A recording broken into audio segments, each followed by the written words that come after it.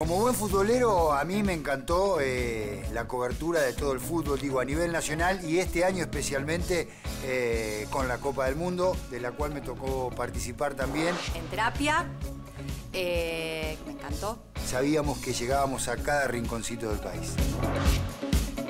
Las entrevistas estuvieron realmente muy buenas. Me encantó cuando vinieron los nocheros a en Argentina. Valeria Lynch, Abel Pintos. Uno les da una guitarra en un living, le pone un micrófono y los nocheros eh, cantan como si estuvieran en el mejor estadio del mundo. Y por supuesto la pareja que hacemos con Goico está genial.